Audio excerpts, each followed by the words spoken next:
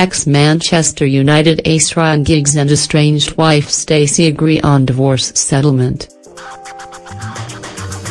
Ryan Giggs has settled his pound £40 million divorce row with estranged wife Stacey.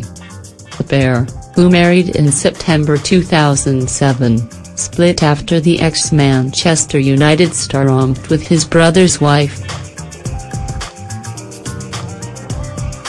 Giggs, 44, had been fighting Stacey in court over giving her a chunk of his huge fortune.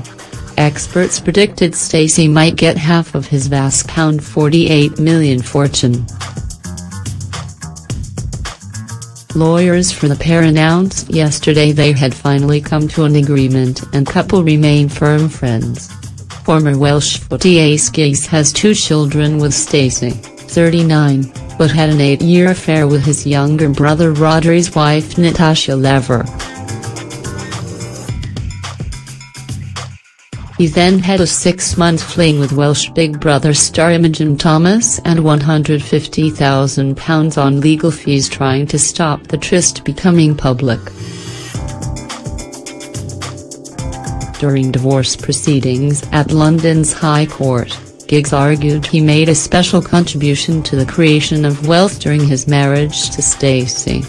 His multi-million pound fortune was earned after notching 963 appearances for Manchester United over 24 seasons.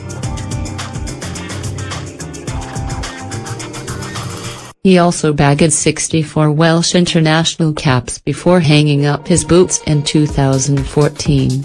Lawyers said last night, Ryan and Stacey Giggs are pleased to say that they have managed to reach a financial settlement in their divorce. This concludes the divorce proceedings and they will not be making any further comment.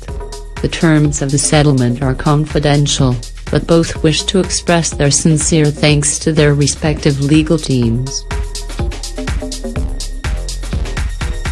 They are pleased to leave this chapter of their lives as firm friends.